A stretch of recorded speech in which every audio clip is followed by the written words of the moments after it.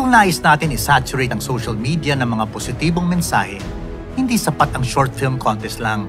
Kailangan natin i-train sa filmmaking ang mga mensahero upang maging pulido ang presentation ng Ebanghelyo. Kailangang maipakita ang mga aral ni Jesus sa bagong perspektibo.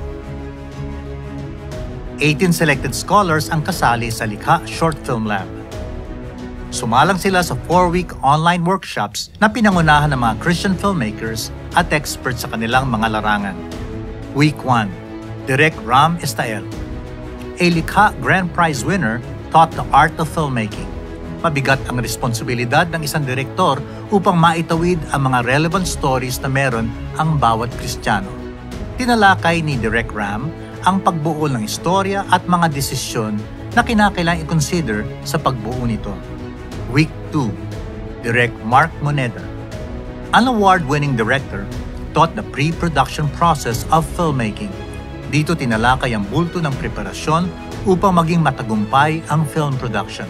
Week 3, Direct Stephen Cad, a veteran sa paggawa ng evangelistic films, taught the direction process of filmmaking. Mula sa kanyang experience, naituro niya ang mga epektibong paraan upang mabuo ang isang production at kung paano ibukod ang buong cast and crew. Week 4, Direct Jeremy Cruz, an international documentary producer, taught the process of editing mula sa color grading, audio treatment at exporting na i-demonstrate ni Direct Jeremy ang best practices upang maging mataas ang kalidad ng bawat production.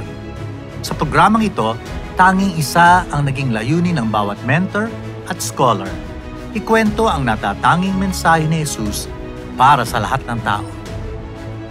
Ito ang Likha Short Film Lab 2022, Parabola.